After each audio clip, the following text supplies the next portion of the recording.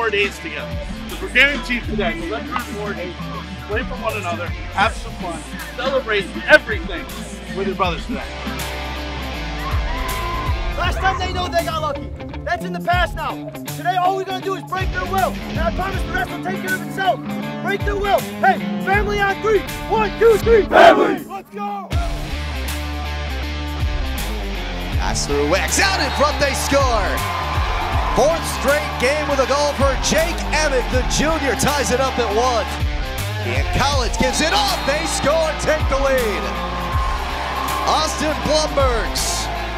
18 goals for the senior from Penn Yan. right there on the doorstep, and Dobson was not fooled, was not phased. Dishes off, they score.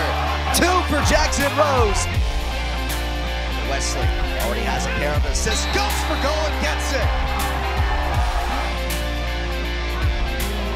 15 saves against 20 shots on goal. We're not even five minutes into the second half.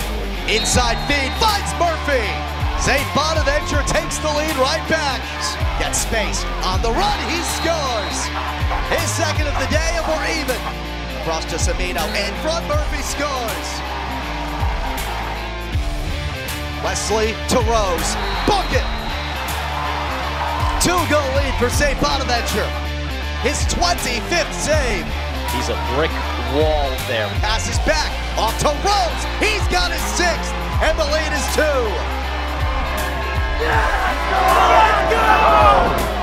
And for the first time in St. Bonaventure men's lacrosse history, the Bonnies will play for the title. And St. Bonaventure will be on the field for the title game at 10 a.m. Saturday. What a win for this program, and but just think about the journey that this team has been on. Coach Mearns uses the term journey a lot, starting from their first Division One practice just four years ago, and now being here at Marist College, and now waiting to see who they're going to play Saturday morning. Hey, job's not finished. We got one more.